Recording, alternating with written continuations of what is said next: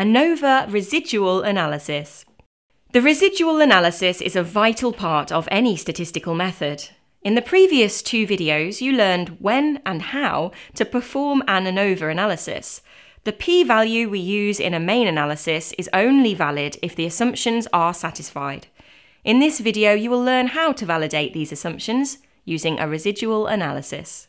Remember that we were wondering if the moisture content in coffee beans differs between the four machines it can be produced on. Moisture was our numerical y variable, and machine was our categorical x variable.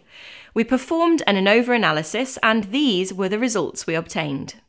Our ANOVA analysis gave us a p-value, which shows a statistically significant difference between the average moisture percentages of the machines, because the p-value is below 0.05.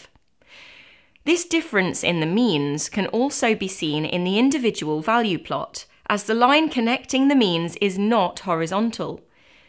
Let's take a look at the R squared.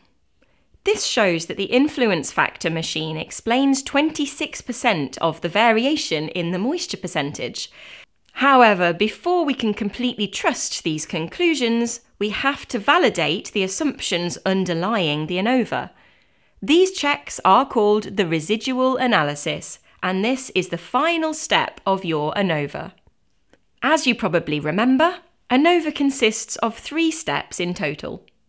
To validate the assumptions, we will check if the residuals are normally distributed and if there are any outliers or other irregularities present.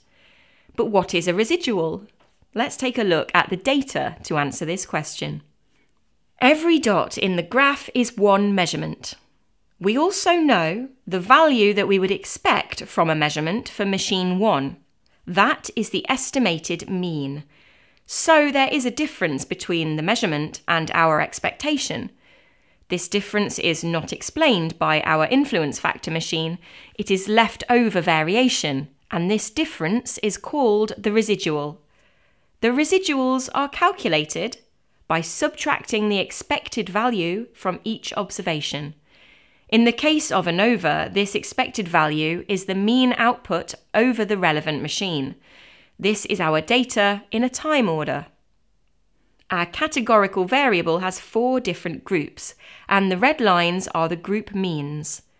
Then the residuals will look like this, with the mean of the residuals equal to zero by construction. Okay, let's go back to our moisture example and let's perform a residual analysis with Minitab.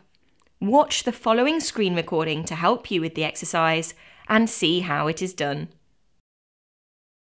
In summary, in this series of videos I've explained that the ANOVA is a technique to test whether a categorical influence factor X has a significant effect on a numerical Y.